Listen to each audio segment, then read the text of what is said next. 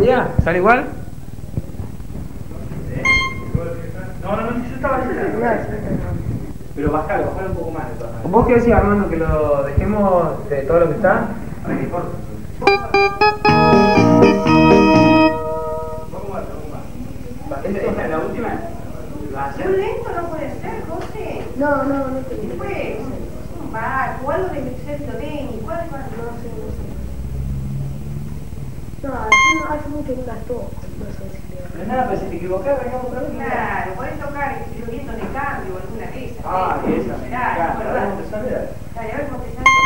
Pero pará, primero. Cambiar de que misma palma tenés que tocar, que ya está grabado la, el, el, el, Tocar misma Bueno, palma. un cambio.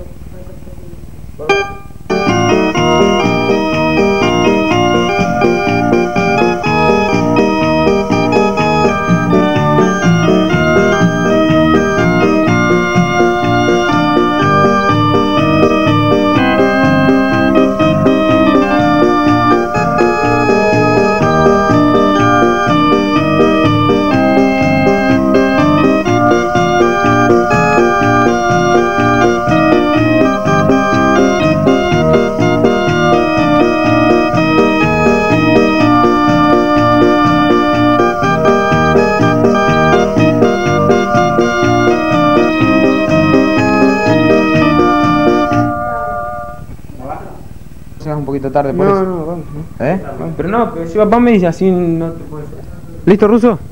Bueno, y así estamos cerrando entonces este este blog, vamos a tenerlo, vamos a tratar de tenerlo todos los sábados.